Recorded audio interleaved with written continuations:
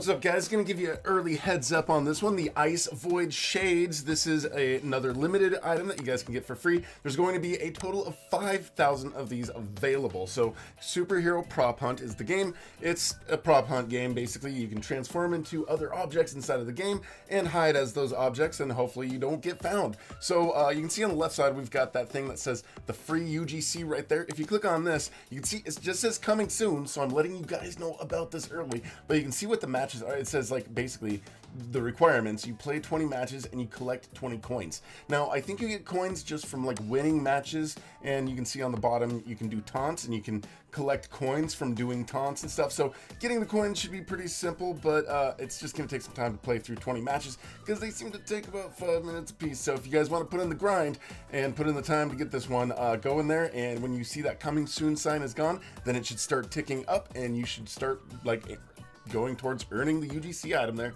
for free. So if you guys are new here though, make sure you subscribe and hit that notification bell and thanks for watching. We'll talk to you guys later.